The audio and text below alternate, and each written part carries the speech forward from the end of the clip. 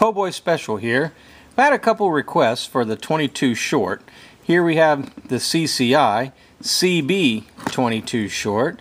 It's a lead round nose. It's advertised at 710 feet per second and it's a 29 grain bullet. So will it penetrate a 2x4? Let's take a look. Let's find out. It'll be shot through a 6 inch barrel revolver, a Heritage Arms. So question was, Will a 22 short CB from CCI penetrate a 2x4?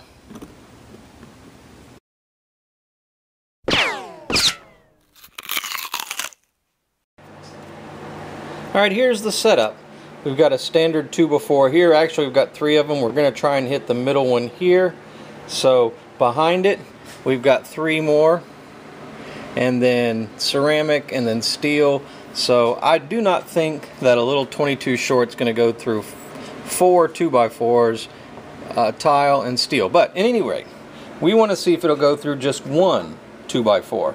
So let's find out. Alright, this from about six feet away.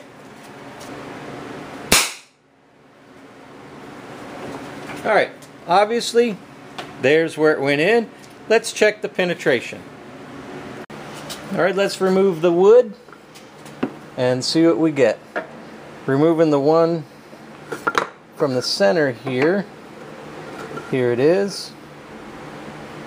Anything on the round back? Nope. It did not, repeat, did not go through the 2x4. So there you are. There's the entrance. So a 22 short shot from a 6 inch barrel revolver will not go through a 2x4. And that is just a little mark. Alright, there's your proof. So, you saw it here on the Po' Boy, Special, Special channel. channel.